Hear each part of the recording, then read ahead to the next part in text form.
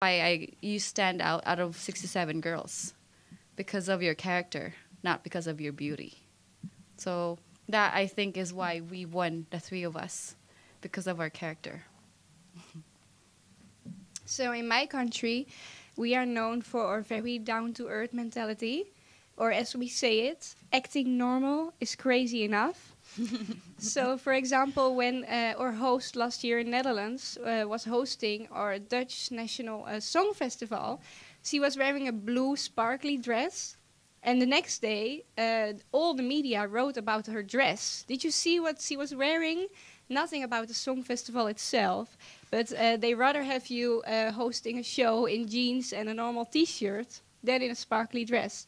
So that can be quite frustrating sometimes because um, they always find something uh, physically to criticize instead of looking more at the content or what things are about. And it's the same way with beauty pageants. I always have to fight the cliche that beauty, uh, they call it meat auctions in Netherlands. But I hope with being myself, I can prove them wrong. Uh, I studied law. I have a double master in law, and I graduated with a GPA of 4.0 and my ambition is to become one of the very few female professors at Dutch universities because I believe there are lots of beautiful women, but too little on top positions. So um, uh, I, I, I just uh, I think it's good actually that the media is so uh, critical sometimes because it's our job to prove them wrong, and I'm more than happy to do that. and uh, on the other hand, they can be very supportive as well. So uh, we should also be thankful for that. And um, they also um, teach us more about the world by being yes. so critical, revealing secrets from our governments. So it's a tough job, and somebody needs to do it. we have to do it. and then about my definition of beauty, I believe that everything is beautiful. It's just that we can't always see it, or we don't always appreciate it. And beauty really has to come from the inside. So if you don't like what you see in the mirror, you have to change it from the inside. You have to believe in yourself, you have to trust in yourself, and that's what makes a person beautiful. Because if you feel beautiful from the inside, it will show through to the outside. And then again, also during the beauty contest, there are so many beauty queens from all over the world, and everybody is so different. You cannot just speak about uh, looks you know, beauty from the outside. Because a beauty queen from Africa, she looks so different than a beauty queen from Asia or from Europe. We are all beautiful, but in a very different way.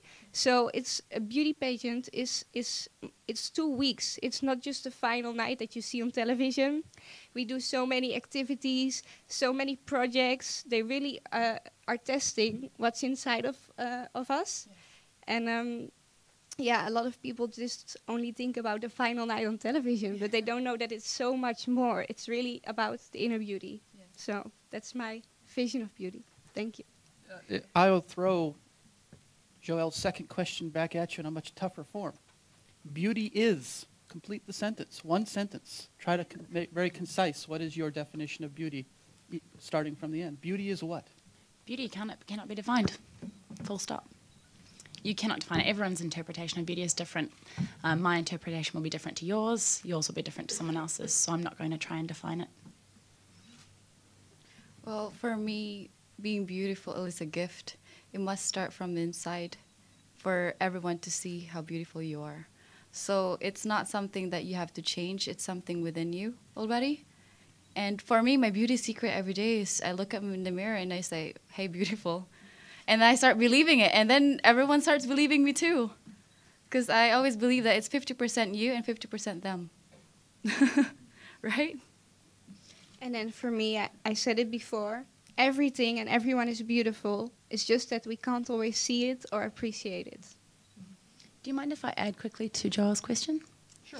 When I say media, um, I don't necessarily mean journalists. Um, with media in today's society, anyone can be a journalist, and an uneducated voice can pick out what they want. And I think that you need to explore the fact that media is social media. And with Facebook, etc., as an example, you can comment and have your opinion as many times as you want from as many different perspectives, and you can be anonymous. And I think that a lot of young women are using social media as an outlet. So when I say the media can be destructive, I'm not necessarily reflecting the people in this room, but everyone, because they are all an outlet for communication. Yes. Okay, Patrick.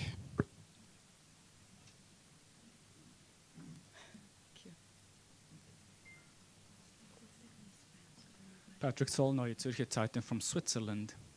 It is a custom at uh, beauty pageants that the queen of the year before hands over her crown to the current queen. This wasn't the case two days ago.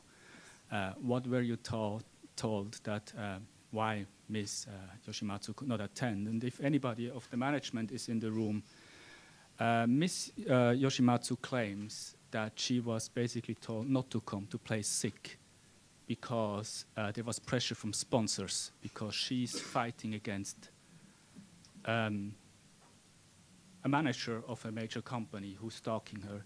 What's what you reply to these allegations, please?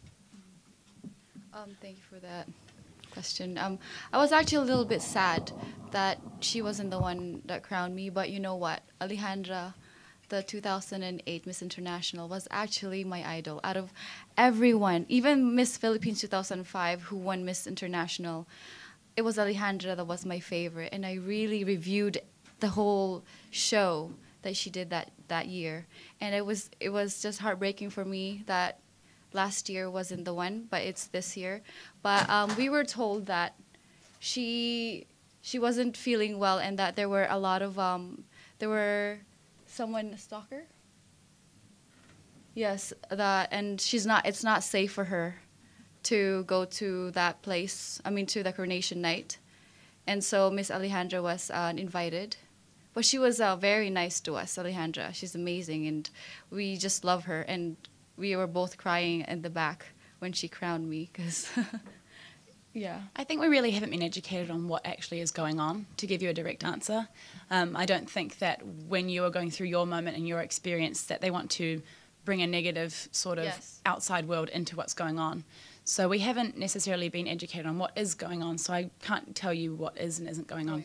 Um, but I can tell you that the experience um, without her, you know, it was very sad that she couldn't be there. Um, but as for why, um, just read what's in the papers and make your own opinion, I guess.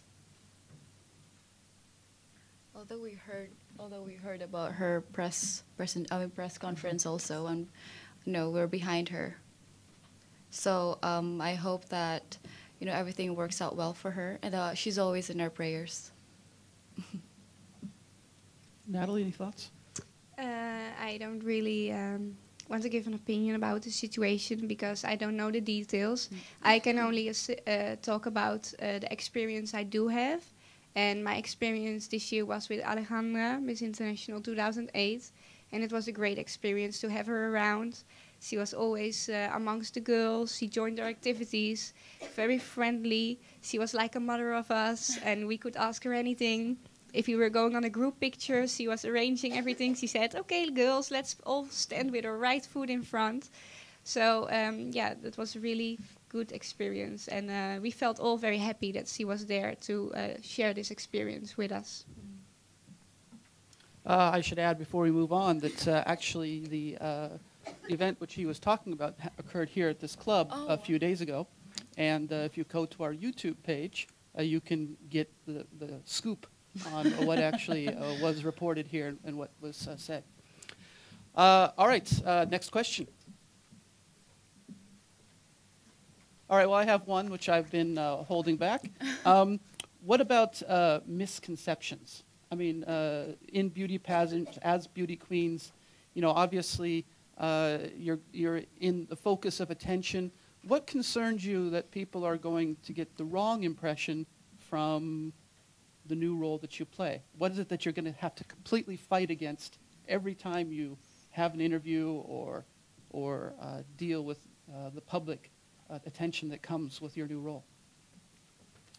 Well, you know, um, I think one of the negative stuff that we've been getting is that beauty queens are diva, or that um, we're just all material, and that we're all just the face. I mean, I'm actually very happy that you gave this opportunity for us so that you can you know us better because we're we're more than just a stage presence where we can talk and we can walk the talk also. So I hope that you wait and be patient of for the next year that we're going to be working on our responsibility because we are actually thinking of doing more. For even just the three of us, we want to do more and more because we really want to help out and we want to fulfill the, the duties that um, ICA have given to us. Because this is more than just a crown, this is our responsibility. So I want to do that, especially for my people. I want to help out more for my people at this moment, which they need the most. Um, where do I start? Um, there's a lot of mis. Um, I have a feeling that Casey, you have a, a lot to say on this issue. So I always go have ahead, a lot fire to say. away. Um, I guess I'm probably one of the least stereotypical pageant queens ever. I hate even saying the word pageant queen because I'm so far from it. Um, I'm just a little Kiwi girl from, from New Zealand, and people go, Where's New Zealand? Um, but I think I have, I mean, the, the biggest one for me is world peace. Um, that is always what everyone reduces pageantry down to. And it's frustrating, but I think that if, if the journey isn't hard, it's not worth fighting. Um, I definitely think that being given the opportunity to speak is the hugest part for me because I have so much to say. I have such a strong opinion and, and opinions that people might not agree with. But um, for me, it's the image because I don't necessarily fit the right sort of pageant expectations. I came with one 20 kilo suitcase, three jumpers, pairs of jeans, two cocktail dresses. you know, I don't have a bag full of shoes. I don't have a bag full of dresses. You know, I'm not that stereotypical girl and never will be. Um, so for me, the biggest thing to fight is what is a beauty queen and make my own opinion of what a beauty queen is and try to enforce that on other young ladies as well.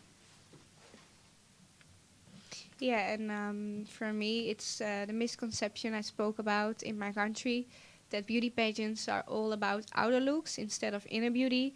And I see beauty pageants as a great way uh, for women, uh, for women empowerment. Actually, they give us a world platform, a world stage. They gave us a voice in the world. They gave us a great title. They gave us the opportunity to do many great things. I mean, we visited a, um, a kindergarten when we were here in Japan and being able with uh, to put a smile on people's face with just being present that is something to be very grateful of uh, bringing joy in the life of other people. So it's a very honorful and grateful job. And then also the beauty pageant itself um, you have the chance to make a great journey into a new country to learn so much about the country itself about the culture. And every single girl went there all by herself. We all came on our own into a new country, a new place. Um, we never met before, and now we have the opportunity to meet so many girls, all from different countries, from all around the world. And that is something so special. And even though you just met, you feel like you know each other much longer because you share a once in a lifetime experience with each other. And uh, ICA also really wants to promote goodwill, friendship, and love between nations. And that's how we experienced the pageants uh, over the last two weeks. Because we made so many friends from all, all around the world. Even though we are the winners, they were still happy for us because eventually somebody needs to win, somebody needs to do the job. But the pageant is about so much more than that. For me, the greatest thing I won are so many new friends from all around the world and so many countries I can visit after this pageant Yes. and stay with friends and experience their countries on their way uh, with them as my private tour guide. So that's Yes. something to be very grateful uh, of. Yes, Thank I guess you. it's cheaper for us to travel now. yes, we can have a Euro trip and pay nothing. All right, I open it back up to the floor. Any questions? Well, go ahead, Khaldon. Yeah, go ahead.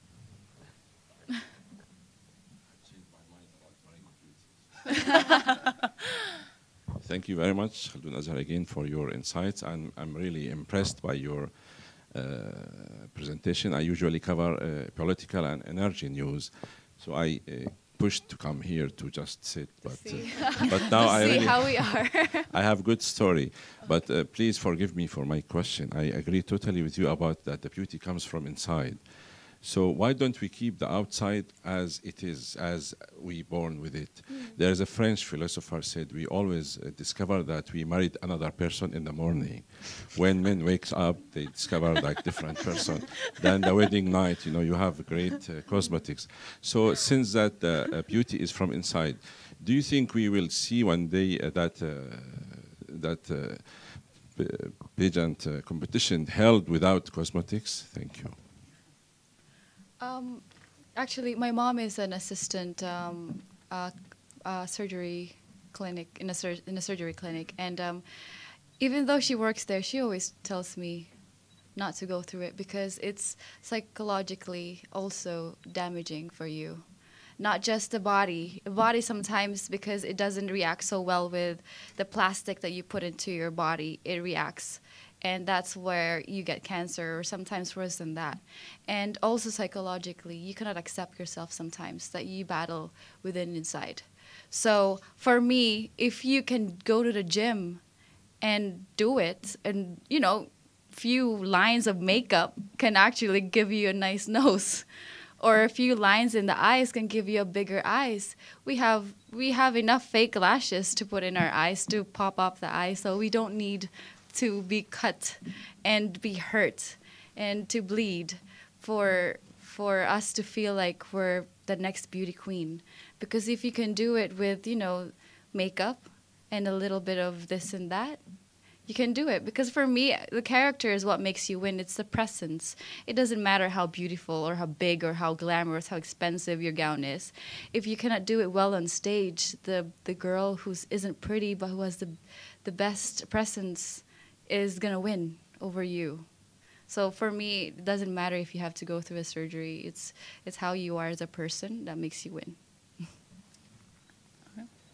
So I would love to be in a pageant with no cosmetics. To me, it would make life so much easier. you know, I, when I came to this pageant, you know, I, I don't have abs. You know, I wore my one piece. Um, I wore what I was comfortable with, and my boyfriend definitely is waking up next to another person because I don't look like this every day. and um, I think it's really important to recognise that. Um, the question is not would we ever be in it or would there ever be one? It's would society allow us to have one? Because I think it is not us who enforce that, but expectations of others. So I think that it would be great to have something like that, but it, the interesting question would be how would society react to it? Yeah. And uh, there are already beauty uh, some national contests in the world that uh, do- don't allow you to undergo any changes of yourself. So I think that's a, a nice first step into maybe reaching your goal. But then again, I don't see makeup really as something negative. I don't. Some people can say, "Oh, she puts so much makeup," or "It's like a mask." But um, like I said, um, I I see makeup as an enhancement of beauty you can enhance certain features in your face or uh, you can enhance your eyes or your lips or whatever you like of yourself. So uh, i don't see that i don't think that there's anything really wrong with wearing makeup uh, as long as you don't wear it as a mask uh, as long as it doesn't make you another person. You still stay who you are. You still uh, are yourself. So for example me i was very prepared. Every night i did my hair. Every morning i put on nice makeup but um, I just wanted to show my commitment and my motivation being in this beauty pageant because at home I never wear makeup. I don't do my hair really, but uh, for me it was just a way of showing my commit- commitment and my passion. So I don't really see it that negative. Thank you. And we came here representing our country, so we want to give the best we can. Because we didn't come here with our names, we came here with the sashes of our country. So representing individuals in, in our country. And as long as we don't show how bad we are from the inside, and, you know, as long as we're not hurting anyone, I don't think that there's something wrong with, of course, makeup. And, and, and actually putting on makeup, I also Yes. it also made me feel like an artist because you are very creative. I uh, I tried on so many new colors and so many new things, so I really feel like I almost became a painter or a professional Yes. artist, uh, and I had fun with it. And trust me, these girls are beautiful without makeup. I've seen them. She's my roommate and my neighbor. So you know, even before winning, we were very close. So we've seen each other in our PJs. So First time I ever met you was with no makeup on at one in Yeah, the morning. exactly. so yeah, I mean, we're beautiful with or without our makeup. So I think that's. But the character is what makes made us win. I think. Well, you can tell now, right?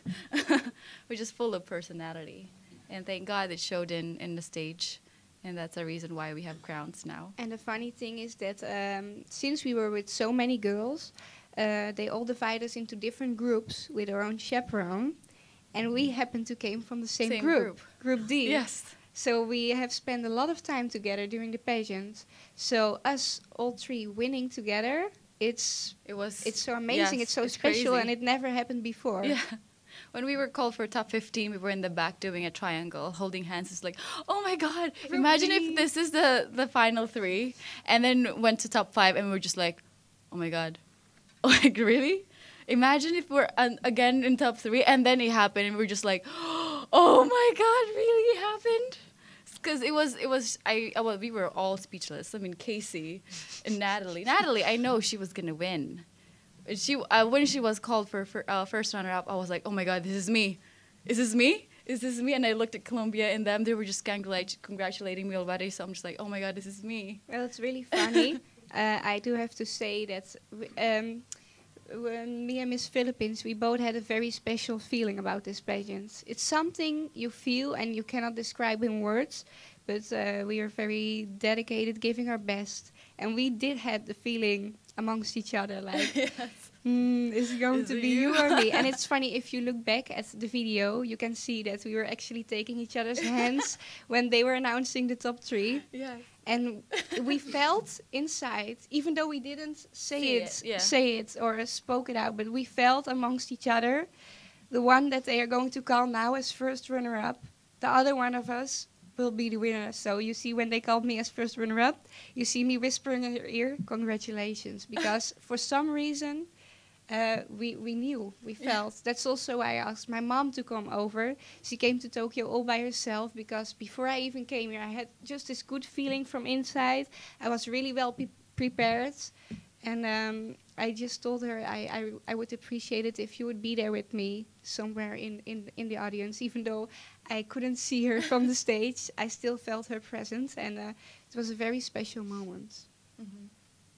Yeah, my mom too came to um, from Canada, and um, she, I gave her some flags, and she gave it out to some of the Filipinos, which is fun.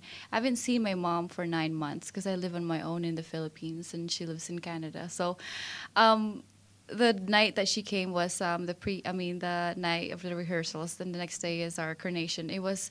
I think I cried a lot, and um, I think that also just gave me. Uh, the confidence and just the relaxation coming from your own mom. I think that's also she's actually she, I think she's my lucky charm because my national also she was there. She flew from Canada, and then my international she flew again from Canada. So I think she's my lucky charm. So I'm thankful that my mom came because um, it would it wouldn't be the same. Okay.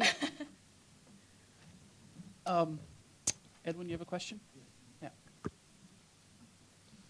This might be the last question, depending on how long the answers are.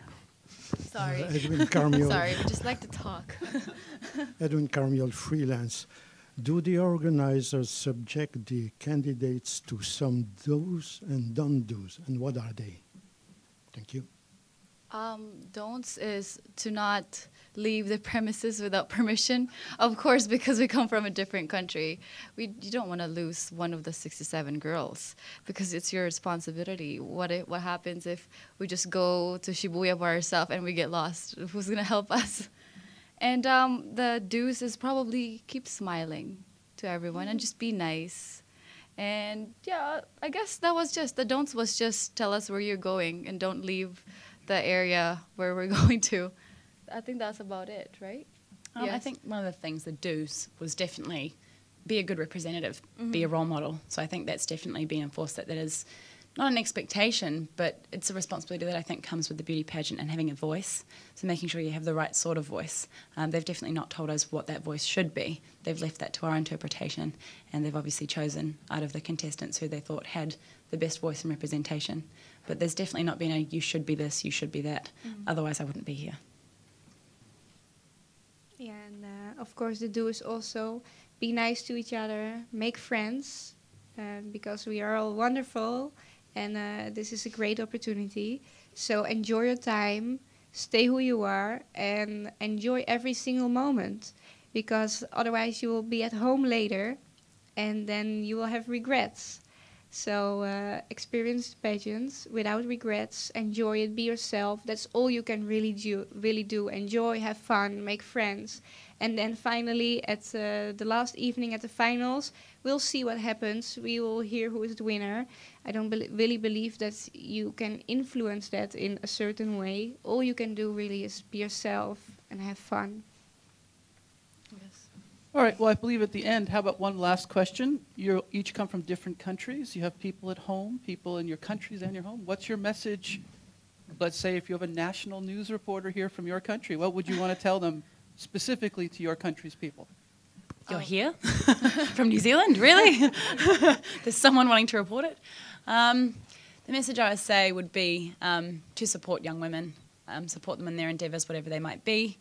Um, don't judge a book by its cover. Allow us to have a voice, and um, definitely appreciate different opinions in society. I think that everyone has something else to bring to the table, and one thing alone is not enough. Bringing everyone's opinions together really makes it beautiful. And I think my country does that beautifully. Um, I just think we need more of that when it comes to beauty pageants. Well, for me, we actually have um, my national uh, network is actually here. So, mabuhay ang Philippines. Um, thank you so much. And um, I'm coming home tomorrow, so hopefully I see you in um, the NAIA airport. And uh, my homecoming is going to be my gift for you guys. And uh, so I really want to thank Mrs. Stella Araneta. She's the first Miss International ever to win, and um, she's my national director. She trained me since after um, I won the national pageant in the Philippines.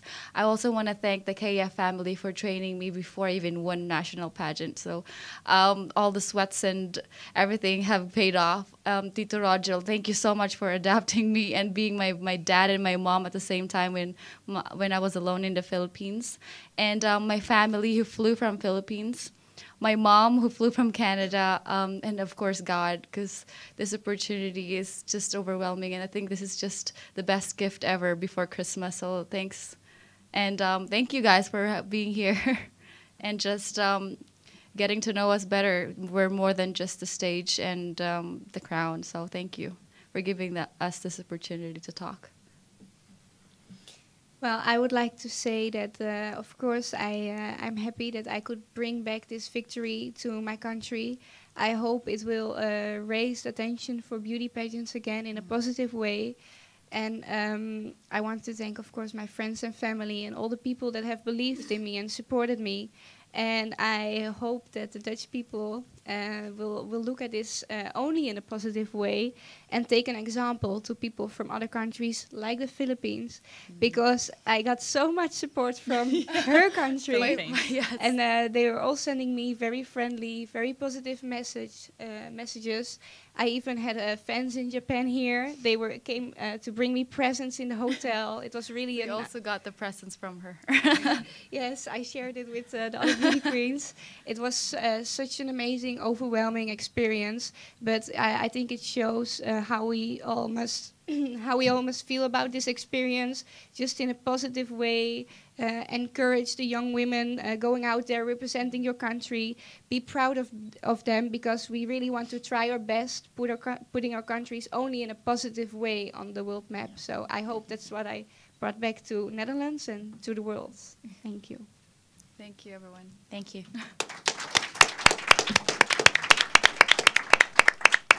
Okay, well, we have a little custom here at the FCCJ is that anybody subjected to an hour of these people uh, get uh, a little bit of a prize of their own, and that's an honorary membership to the club that lasts for a year. Wow. Uh, Now, this is the stage you. of your victory, so maybe if you do come back, you can, uh, on the other side of this wall here, there's a very nice bar uh, where people socialize, so you'll be able to get in, and we won't lock the doors on you. So, uh, first of all, uh, the honorary membership for uh, Ms. Bea Rose Oh, wow. Santiago. Oh my God, it's an honor. And congratulations on your major victory. Thank you. And here I have an honorary membership for Ms. Nathalie Den Dekker of the Netherlands. Thank you very much for coming. And finally, uh, the second runner-up and uh, very articulate, fut- probably future member of this club since she is becoming a journalist, Ms. Casey Radley. Thank you very much. Thank you. And I guess we'll get them to stand up for about 30 seconds.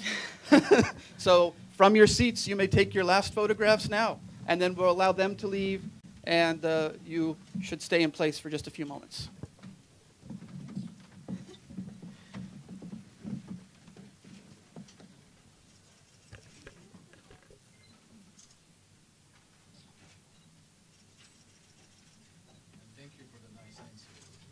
Thank you.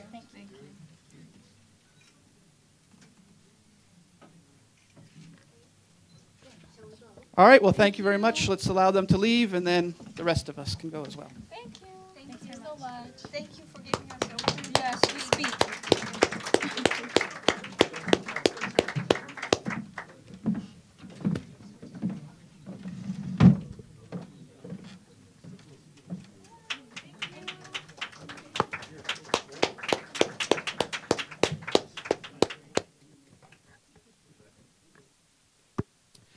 And thank you all for coming to the Foreign Correspondents Club of Japan.